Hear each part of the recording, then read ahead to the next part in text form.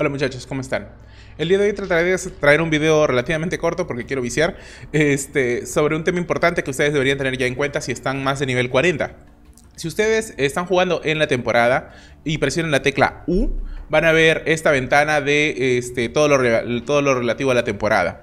Eh, si ustedes ven aquí la travesía de temporada, hay un recuadro en la parte de aquí arriba a la izquierda y este, les va a mostrar desde el capítulo 1 cosas que tienen que hacer que son fáciles. Completa un calabozo, encuentra un evento, haz un calabozo en Cumbres Fracturadas, que es una zona específica del mapa. Es súper fácil de entender qué hacer con esto. Cuando ustedes eh, completan esto, eh, acá les dice que tienes que llegar hasta este punto de acá, que eran 8 objetivos, yo tengo 9.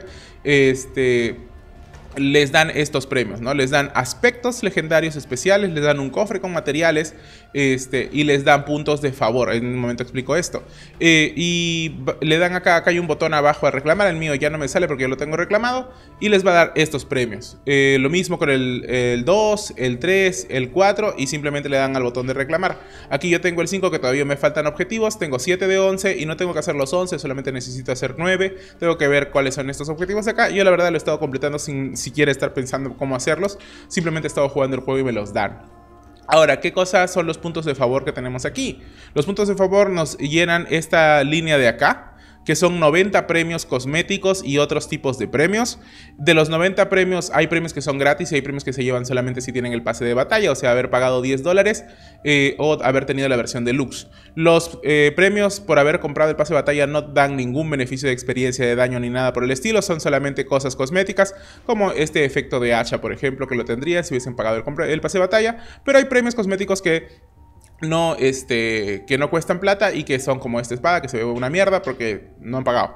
Los premios cosméticos eh, de paga obviamente se van a ver más chéveres. A mí me da igual, la verdad, porque este, lo cosmético no es tanto lo mío, no me llama mucho la atención, pero lo importante es que uno de los premios gratis eh, es esto, que se llama cenizas ardientes, y se los dan el primero cuando llegan a nivel 40, eh, y después si van avanzando en esta barra les van a dar otra más cuando estén en nivel 45, 50, 60, y así poco a poco. La que me falta a mí, por ejemplo, ahora es una de nivel 66. ¿Para qué sirven estas cenizas? En este otro cuadro que está aquí, que dice bendiciones de temporada, le hacen clic aquí este, si ustedes eh, pueden seleccionar cualquiera de estos bufos que les va a durar durante toda la temporada, cuando los activen, hay bufos para tener más experiencia, más eh, oro, eh, más materiales al desguazar, más duración de elixires eh, y más chance de conseguir corazones raros que son de la mecánica de esta temporada. Eh, ustedes simplemente le hacen clic encima y seleccionan para mejorar. ¿Qué pasa si ustedes ya eligieron otro bufo? Porque ahorita yo les recomiendo que pongan de frente el de bufo de experiencia siempre.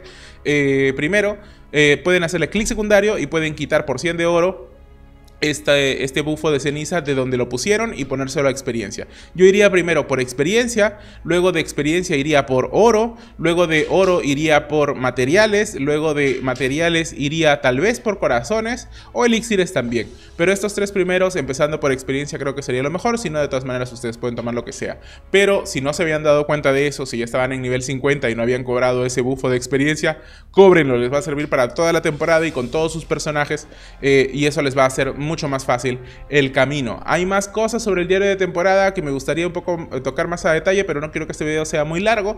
Este, pero la mayoría de las cosas se entiende súper, súper fácil. Si hay alguna cosa que puedan tener dudas, probablemente sea sobre hacer cosas de la línea de el modo historia, perdón, la temporada que les va a marcar eh, con este dibujo de hoja. Eh, simplemente hagan las misiones que les muestran la hoja, o sea, vayan ahora para aquí, ahora para allá, ahora para allá, y van a ir completando esas cosas y van a ir completando esos checks en el diario de temporada si es que suena algo raro que nunca antes habían visto. Y nada muchachos, este ha sido un video rápido, eh, ojalá que haya sido de utilidad si aún no lo habían desbloqueado y si este, ya lo desbloquearon y de todas maneras compártenlo con sus amigos para los que aquellos que todavía no saben cómo funciona bien el tema de la temporada, de los buffos y todo lo demás. Ojalá que este video les haya gustado, nos estamos viendo en un próximo video, un abrazo para todos, cuídense, chao chao.